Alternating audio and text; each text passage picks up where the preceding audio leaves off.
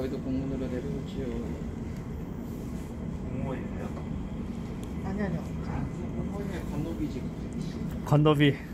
어, 건더비 진짜. 아, 어, 저, 다들 학교의 노예입니다. 너무 너무 고생들 하셔.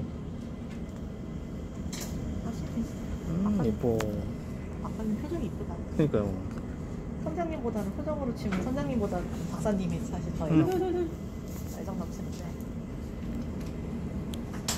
어 근데 이제 구멍을 뚫고 저기 총대를 고정을 해.